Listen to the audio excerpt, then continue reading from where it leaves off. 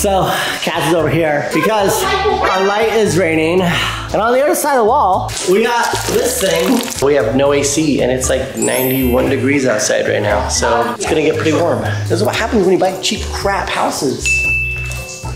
That's still coming down, huh? Just right out of the light bulb. Who turned on the light? Madison, do you know what water and electricity do? Oh. Yeah. Inside the house, you guys, it is 88 degrees. We're actually gonna take off and go stay at the lake house. It's gonna be super hot, so we're just not gonna stay here.